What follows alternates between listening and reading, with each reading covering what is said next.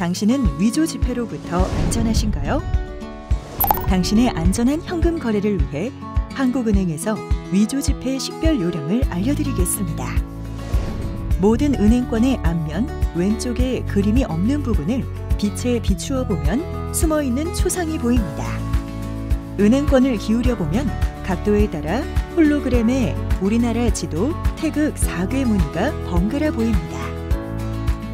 입체형 부분 노출 은선의 태국 무늬가 상하 좌우로 움직입니다.